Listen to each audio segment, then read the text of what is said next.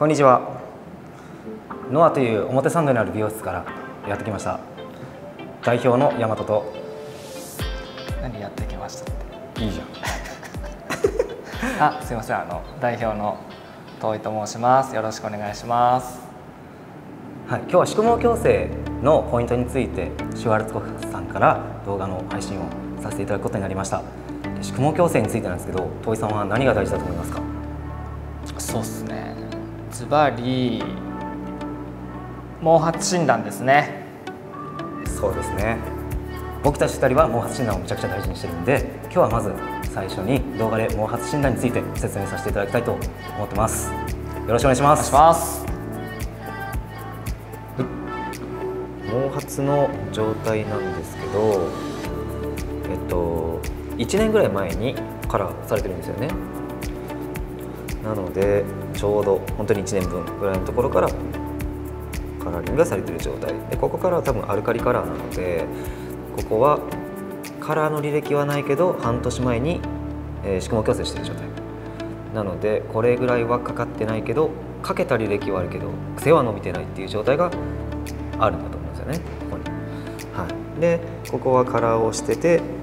癖がなんだろうカラーをしてることによって毛がちょっと弱るんですよね。なのでここは多分いつもより癖が伸びてたんだと思うんですよこの時期までは。なんだけどここから髪がすごい健康な状態になることであの薬の効力がなかなか中まで行き届いてなくて伸びなかったのかなっていうのがこの横から見た時にすごい分かりやすいんですけどねここの状態で見た時にこうデコボコしちゃってるんですよねでここからちょっとまっすぐなところがあってでよく見ると色の違いがちょっと目立つんですよね。でここがバージン、うん、カラーなし。でここが既製毛でここからちょっと沈んでる。ちょっと暗くなってるっていうのがあるんでここ色を吸い上げやすくなってる状態。なのでこれがこっちの方がキューティクルがやっぱり損傷しちゃってるっていう事実だと思うんですよね。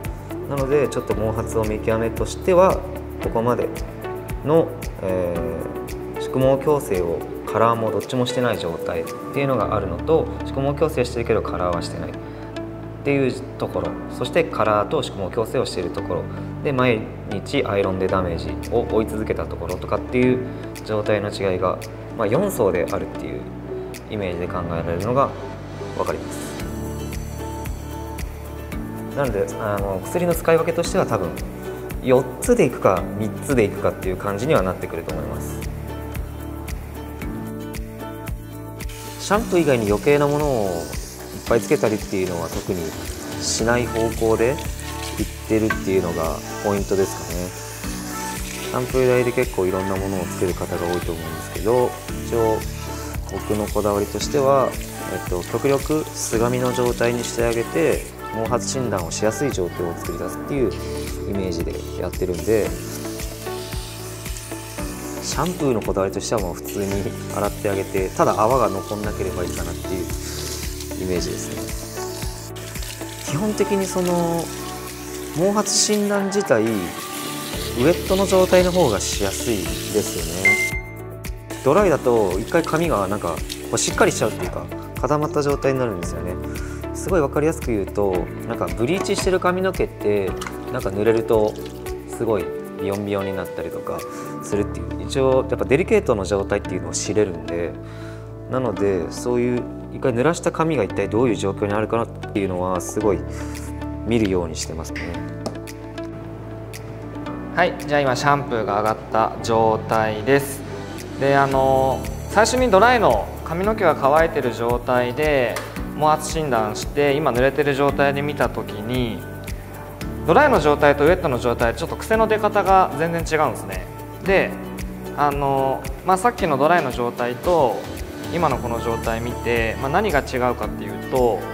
ドライの方が結構その根元から毛先まであの癖の形状が出てたんですよ。でこれウェットにした瞬間に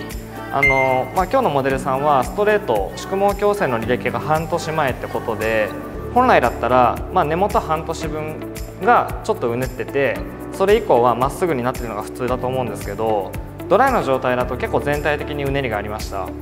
ここの根元半年分が今癖が伸びてきてる状態。でここから下がストレートの履歴がある状態なんですけどウエットだと結構これが分かりやすい状態です。でもあの、まあ、ドライの状態で見た時に前回の宿毛矯正の履歴でおそらく還元不足あるいは若干の軟化不足が原因で癖が伸びきってない状態だったのであの基本的に毛髪診断の時はドライとウエット両方の状態でしっかりチェックします。でウエットの状態で今ここが今あの癖が伸びてる状態っていうのとあと若干、まあ、ここまでがそのカラーの履歴ここはバージン毛ですね。でここからあのカラーの履歴がある状態。でもストレートの履歴はここからここまでっていう。でここのちょうど間ですね。バージン毛とストレートの履歴がある状態。でこっちはバージン毛でストレートの履歴がない状態。でここはカラーとストレート両方の履歴がある状態。でこのカラーとストレートの履歴がある状態の中でもやっぱりそのウエットの状態でも少し毛先にざらつきがある状態が伺えるのででなおかつその髪の毛かなりその、まあ、疎水毛でこう水分が弾きやすいですね。さっきウエットしてばっかなのにもうかなりその乾いてる状態なのでこの辺のその髪質に合わせた、まあ、塗布量のコントロールだったりとかあのストレートの履歴があるところへの、まあ、薬剤のアプローチの考え方などちょっとあのこれからお伝えしていければいいかなと思いますのでよろしくお願いします。